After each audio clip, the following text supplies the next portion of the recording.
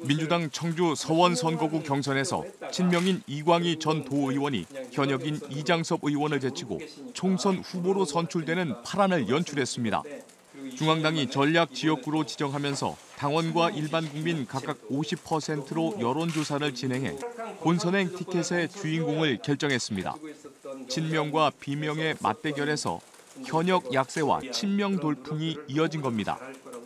이광희 예비 후보는 자신이 친명 대표 주자라며 상대인 국민의힘 김진모 후보에게 도발적인 선공을 날렸습니다. 중국에서는 어쨌든 친명의 대표 주자가 누구냐 그러면 저는 뭐전것 같습니다. 공무원 신분으로 국민들을 배신한 감옥 갔다 온 범죄자 아닙니까? 그 정도로만 말씀드리겠습니다. 민주당 청주 청원 선거구는 송재봉 전 청와대 행정관이 인재 영입 15호인 신용환 전 서원대 교수를 물리치고 공천장을 따냈습니다.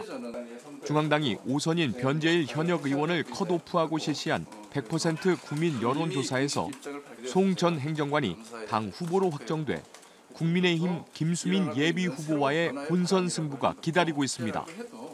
변재일 현역 의원을 비롯한 경선 후보들과의 원팀 구성이 숙제로 남았습니다. 송 예비 후보는 지역 1세대 시민 운동가에 걸맞는 책임을 다해 현 정권을 심판하겠다고 밝혔습니다. 정권에 대한 견제와 심판을 꼭 해줘야 된다라고 하는 그런 유권자들의 기대 심리가 있기 때문에 이번 선거에서만큼은 제가 시민운동을 통해서 해왔던 여러 가지 활동들이 굉장히 큰 장점으로 작용할 것이다. 민주당은 오늘까지 도종환 이현희 청주 흥덕 선거구 경선을 마무리하고 도내 8개 선거구의 대진표를 확정할 계획입니다. CJB 장원석입니다.